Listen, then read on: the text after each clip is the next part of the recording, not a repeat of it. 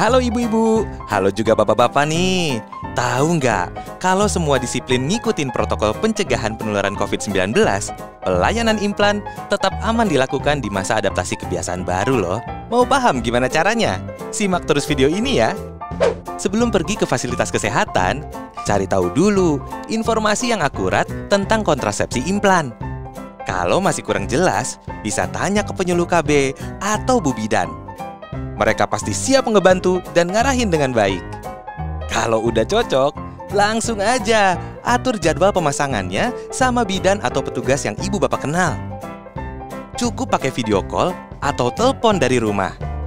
Kalau nggak bisa konseling lewat handphone, nanti konselingnya akan diberikan petugas waktu ketemu. Gampang kan?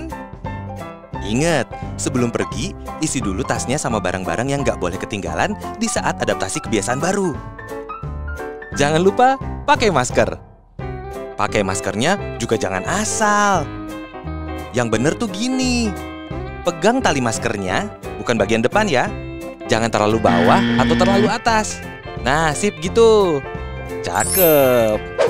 Kalau udah sampai, langsung cuci tangan pakai sabun selama 20 detik.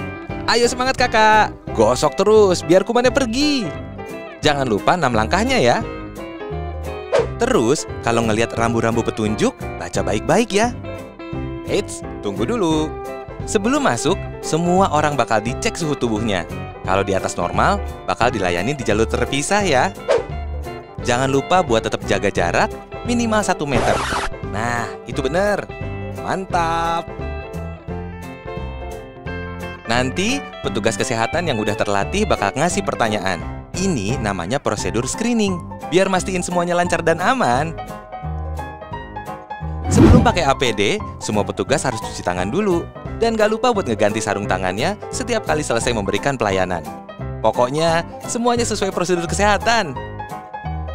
Semua alat KB, peralatan ruangan, dan APD pasti selalu dijaga kebersihannya. Pokoknya aman. Nanti kalau mau pasang implan, pastiin dulu lengan atas tempat dipasangnya implan udah dibersihin. Setelah itu, ibu bakal diminta menyiapkan posisi lengan siap dipasang implan. Saat berbaring, jangan saling berhadapan dengan petugas kesehatan ya, Bu.